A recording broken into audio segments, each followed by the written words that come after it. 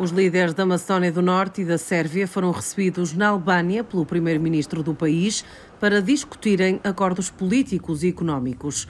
Três países com a mesma ambição: fazer parte da União Europeia. No encontro, que durou dois dias, foram discutidos documentos que se aproximam das linhas políticas do Bloco, como, por exemplo, criar um mercado de trabalho comum e livre entre os países.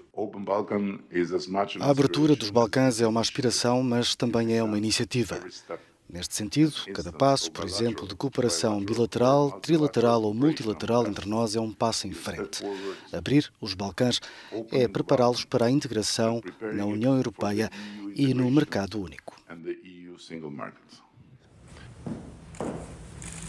Após esta reunião em Tirana, o plano é liberalizar o mercado de trabalho, o que significa que, por exemplo, um trabalhador da Albânia pode encontrar trabalho livremente na Sérvia ou num outro lugar na Macedónia do Norte. Os Balcãs abertos surgem após décadas de tensão na região, especialmente entre Tirana e Belgrado.